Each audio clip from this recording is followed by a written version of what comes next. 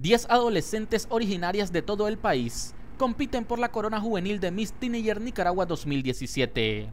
Las jóvenes están realizando diferentes actividades de promoción y entrenando fuertemente para lucir espectaculares en la gala final que se realizará el sábado 8 de julio en el Centro Cultural Nicaragüense Norteamericano a partir de las 6 de la tarde. Como parte de las actividades que realizarán las candidatas, estuvieron este viernes en gira de medios de comunicación y se presentaron en la redacción de ND Medios.